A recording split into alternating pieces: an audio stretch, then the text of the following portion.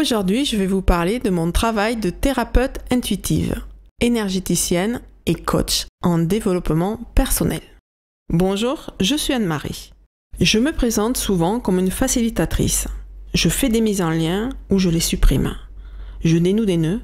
J'explique ce que je fais. Je facilite, je rends plus facile votre cheminement. Lors des séances, des images, des ressentis, ce que j'appelle des perceptions au niveau des plans subtils, sont pour moi un outil permettant de surfer sur la conscience, ouvrant un accès à vos blocages ou souffrances pour les transformer. C'est rapide et efficace.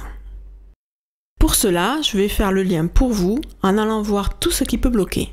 Les structures inconscientes, les blessures, les croyances, des défauts de structure, des souvenirs, des mémoires transgénérationnelles, c'est-à-dire de vos lignées familiales, paternelles et maternelles, ou de vos vies antérieures. Pour les amener à votre conscience, je vais vous expliquer clairement le mécanisme de cette structure dans votre vie et les conséquences qu'elle occasionne dans votre quotidien. Vos blocages en fait.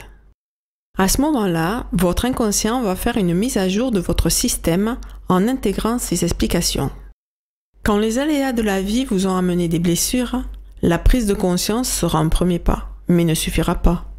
Nous devrons continuer le processus vers les profondeurs pour aller de leur transformation jusqu'à la transmutation de celle-ci.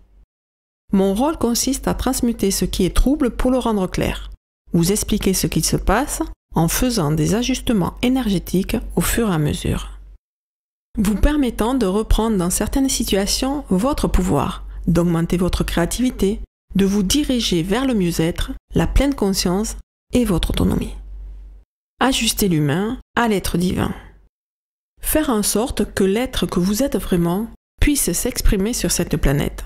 Pour cela, il a besoin de comprendre, de transmuter ce qui le bloque, mettre les limites à leur place, mais aussi rayonner ses couleurs, c'est-à-dire exprimer ses talents, qualités, valeurs, savoir-être et savoir-faire.